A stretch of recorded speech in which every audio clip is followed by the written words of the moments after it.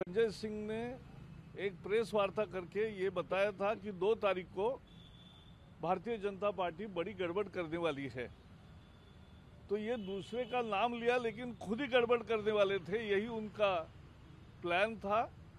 और ये बच्चे के, ये जो युवक था, उसके फ़ोन का जब डिटेल्स देखे तो फ़ोन के सारे फ़ोटो तीन घंटे पहले इंसिडेंट्स के गोलेबारी करने के पहले तीन घंटे, वो क्लीन अप कर दिए हैं। तो ये सारी घटनाक्रम सजेस्ट करता है कि एक कॉन्स्पिरसी के तहत जानबूझकर दो समुदायों में झगड़ा बढ़ाने के लिए, हिंसा का माहौल तैयार करने के लिए और दंगा फसाद हो, क्योंकि एक मुश्त एक समुदाय का वोट उन्हें मिले, इसके लिए ये सारा काम किया है।